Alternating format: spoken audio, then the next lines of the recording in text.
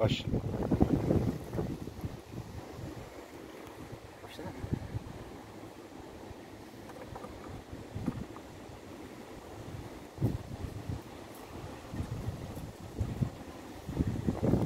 Suyumuz var mı? Ekstra normal şey var. Levrek karışmış. Tamam, önemli değil. Onu da Şey. takviye yaparız. Bundan bunun farkı ne ya?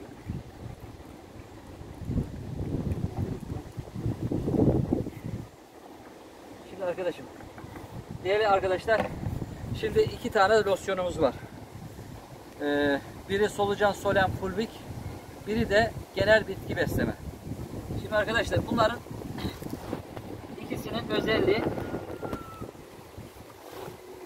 Arkadaş onu soruyor bana. Diyor ki bunların ikisinin özelliği ne? Su.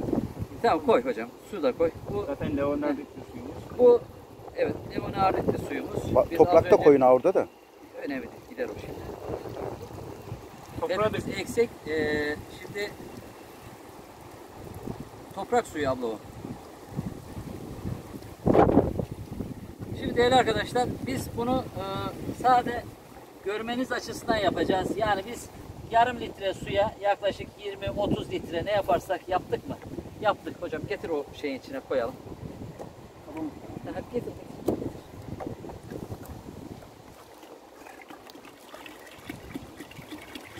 Yani karışıyormuş bunun içine.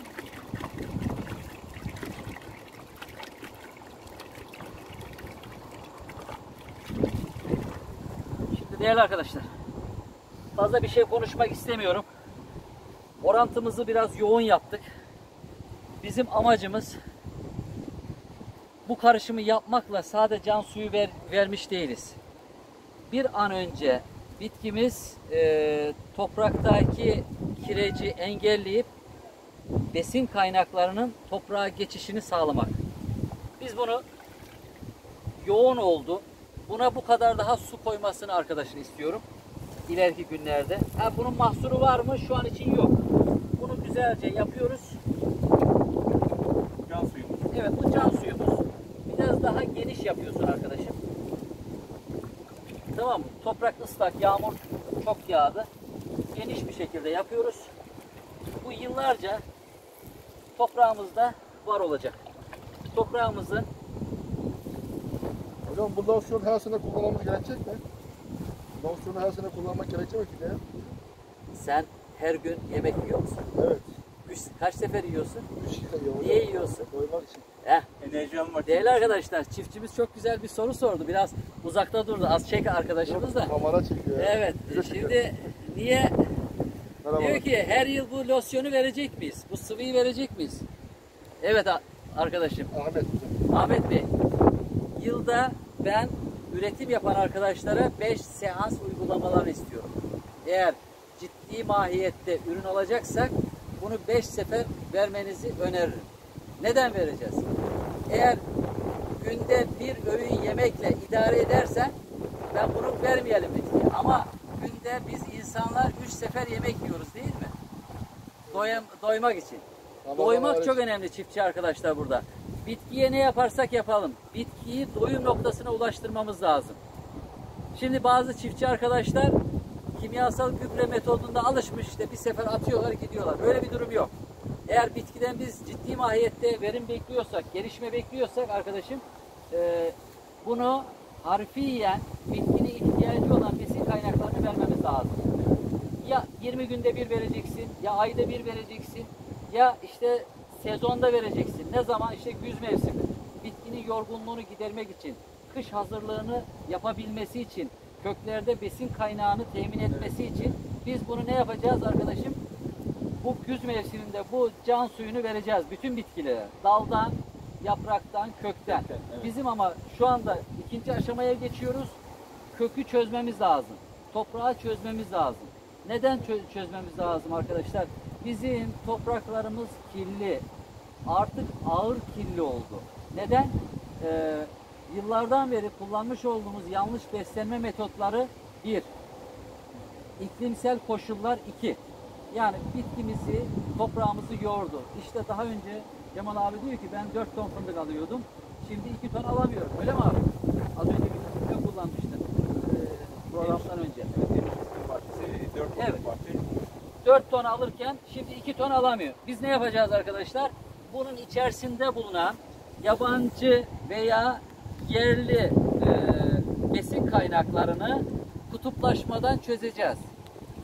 Kutuplaştır, e, kutuplaşmadan çözerek bitkiye bu besin kaynaklarının hızlı geçişini sağlayacağız. Nereden yorum yaparsanız yapın. Eğer biz topraklardaki pH oranını düzeltmezsek, topraktaki efendim e, kil oran olayını, kireç olayını çözemezsek, bitkiye ne verirsek verelim, hangi hayvansal gıdayı verirseniz verin, hangi madensel besin kaynaklarını verirseniz verin, bitki alamaz. Çünkü toprağın pH'i bir kere nötre yakın olması lazım. Hem asit yönünde nötre yakın olması lazım veya baz yönünde nötre yakın olacak. Şimdi çiftçi arkadaşlar şunu diyor. Ya benim e, pH'im düşük. Dört buçuk. Şimdi dört buçuk düş- düşük değil arkadaşlar. Asit yönünde yüksektir. Peki benimki yüksek diyor diğer arkadaş. Kaç yönünde?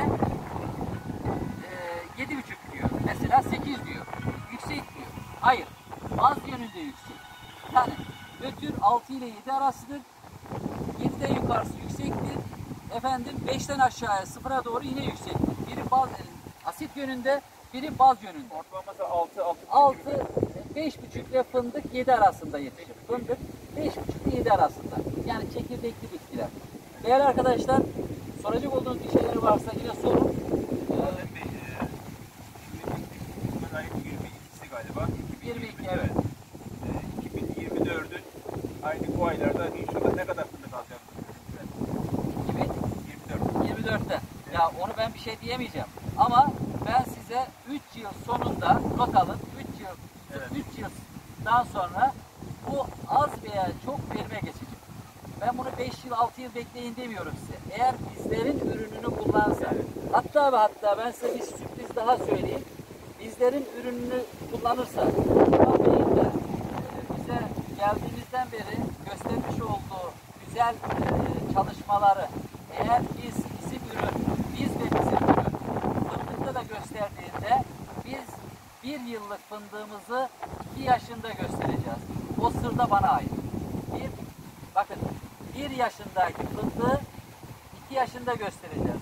O da Aysa Organi'ye ait olacak. Bunu ilerleyen zamanda konuşacağız bu durumu. Evet. Bu sır. Bir yılı bakın arkadaşlar bir yaşı iki yaş atlatacağım. Bir yaşı iki yaşa sığdıracağım.